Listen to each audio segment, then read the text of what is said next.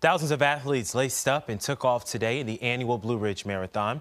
Crowds lined Jefferson Street in downtown Roanoke to cheer on the runners racing in America's toughest road marathon.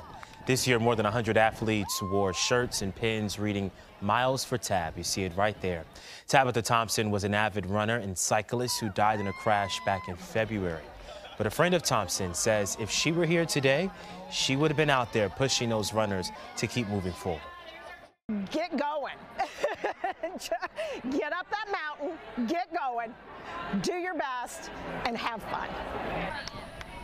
Love that. This is the Blue Ridge Marathon's 13th year.